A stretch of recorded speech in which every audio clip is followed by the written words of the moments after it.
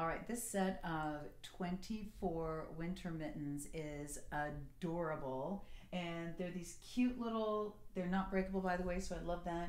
They're all gonna be this one kind of style that you just hang all over your tree. They're this small red mitten with the snowflake and the little glitter at the top. And you get 24 of them. So you just get to fill the tree up and fill up the empty spaces and it looks cheery and fun and warm and welcoming. Love those. They just remind you of snow and making snowmen and snow forts and snowball fights and all those kinds of all those kinds of things. So I love them. I just think they're that little thing that you add to your tree and they really make a big difference. They're super sweet.